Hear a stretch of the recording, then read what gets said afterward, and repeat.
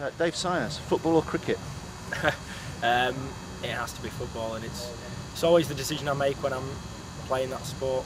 So at the moment it'll be football. Never know in the middle of the cricket season I might say cricket. Although you brought some of your cricket skills to the fore this afternoon.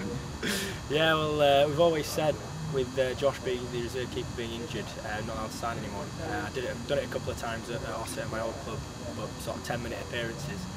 Um, so I said if, if need be I'll go in net. And it's one of those I was hoping that B was, I was begging him to get up, but uh, unfortunately he could carry on. And uh, it was just a testament to how well we played that I didn't really have that much to do. No, but what you did, you did very well. It looked very, very comfortable. And of course, you saved a penalty. Yeah, well, the uh, the penalty is just one of those that it's uh, it's a win-win situation for me. Really, no pressure. Um, I just I had, I had, a good feeling about it and thought I'd go that way, and uh, luckily managed to get it get it up and over the bar. Yeah, and uh, I think the crowd were chanting this afternoon that it was just like watching Brazil. Did it feel as if you were playing with Brazil?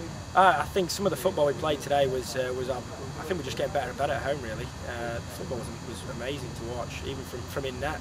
Um, I think, so especially with, with having to go in net and with the team reshuffling around, you, there's a tendency to sit back after half time. But uh, we just we went on and on, and we could have scored four, four five, six.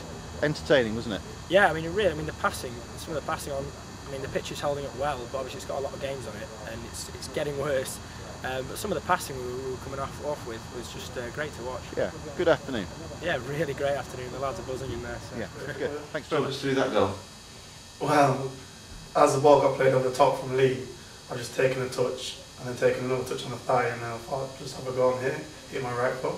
Me, it went in off the post. So. And it was, and it and it came at a time when really we needed it, didn't we? Yeah, we definitely needed it because I thought um, the next goal would have been massive. So the next goal scorer was was us, um, Gladly, and we just finished off from there, went three one up, and that was the end of the game.